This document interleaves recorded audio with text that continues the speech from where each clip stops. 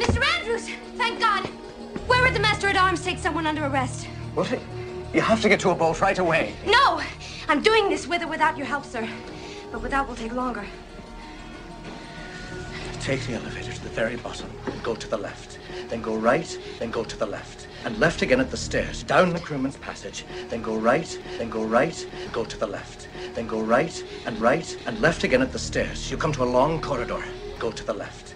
Then go right, then go to the left. And left again at the stairs, down the crewman's passage. Then go right, then go right, go to the left. Then go right and right and left again at the stairs.